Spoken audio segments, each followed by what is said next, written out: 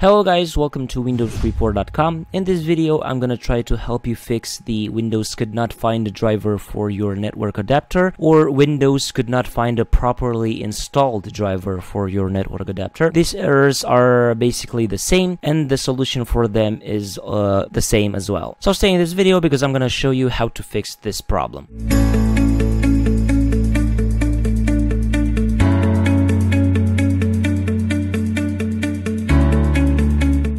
Solution that can solve your problem is to reinstall your network adapter driver or to install it because uh, most likely you don't have it installed so that's why you get the error. To install it or to reinstall it if you already have it but it's not working, just right click on this PC, go to manage, then go to device manager and then go to network adapters and look here if you have any drivers. In my case I have a driver but if you don't have a driver you can skip this step. If you have a driver you have to right click on it and uninstall. After you do all that, you're gonna have to use a dedicated software to install the drivers.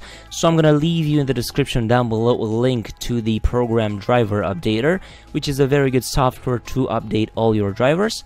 You install it and once you open it, the program will search for outdated drivers or for missing drivers and you're gonna be able to update all the drivers or to install all drivers. After you do all that, the problem should be fixed and you should not get the error anymore. So this was the video guys, don't forget to leave a like if you enjoyed it and subscribe to the channel with the notification bell activated so you won't miss any future uploads. Also, don't forget to leave a comment down below with problems that you have on your Windows operating system and we can try to solve your issue in the next video. Until next time, have a nice day.